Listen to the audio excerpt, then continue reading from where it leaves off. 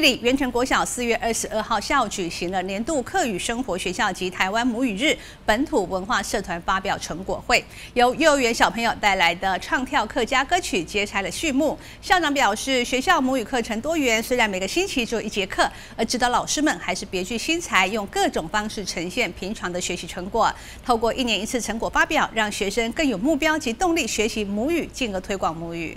幼儿园小朋友在台上唱跳客语歌曲，台下家长忙着拍照捕捉可爱的身影。这是玉里元成国小的客语生活学校暨台湾母语日本土文化社团成果发表，学生们将平常所学的在这一天展现出来，然后让小朋友也可以有一个那个学习的成就，然后有一个准备的过程。对，因为平常可能母语课老师可能哎讲讲。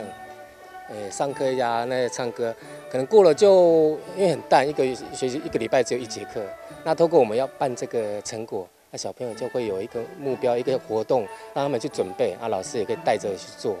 另外，这一天表演都可以看到每一位学生手上都有乐器，表现的也都非常专业。学校也特别感谢乐团中的指导老师，而且指导老师们都是来自民间社团的艺术家，时常利用周末假日一对一的指导，希望将国乐传承并且发扬。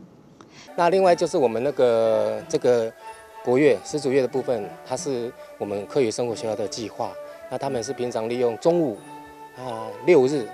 对，差不多有一半的时间六日在训练，像这个礼拜就会，那也是由我们社区那个玉里镇的那个国乐社，那我们主任的那个那个同学们哦。义务来帮忙，所以也透过这个展演，让小朋友能够能够展现出他们平常练习的一个成成果。校长表示，希望透过成果发表的活动，给小朋友们多些动力跟期望，提升学习的成效。也希望透过成果的展演，让家长们更了解学生在学校的学习状况，强化亲师沟通。